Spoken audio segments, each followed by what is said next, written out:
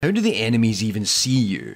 This is actually a huge chunk of logic for Doom, given it's tied to how the maps are designed. Plus, it's also one of the most interesting aspects of how the game is optimised. In previous videos on games such as The Last of Us, Splinter Cell, and Alien Isolation, we talked about how vision cones are used for enemy sight. Doom predates all that stuff, but also it's designed for early 90s PCs, and quite often there are dozens of enemies running sight checks at once. Even if all the enemies are in the spawn state, then each of them are calling the look function in the codebase 35 times a second. So not only does it need to work effectively, it also needs to be optimized. Doom enemies technically have 180 degrees of vision, and have no long distance vision cutoff. If the view between yourself and the enemy is not obscured, they will see you.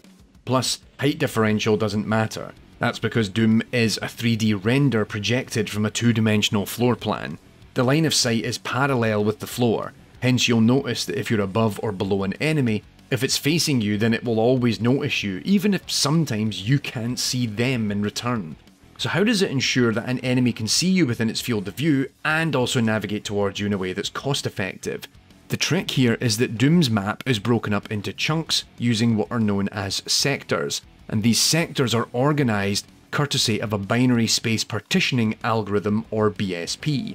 A BSP allows you to organise objects such that they retain spatial information. This is used so the game's renderer always knows what parts of the map it needs to draw by only rendering the current sector and any connecting sectors according to the BSP, and it draws them in the right order. This optimization was added by programmer John Carmack to cut down rendering costs, given it saves on performance by ensuring it doesn't try to render the entire level, an issue that modern game engines have now rectified.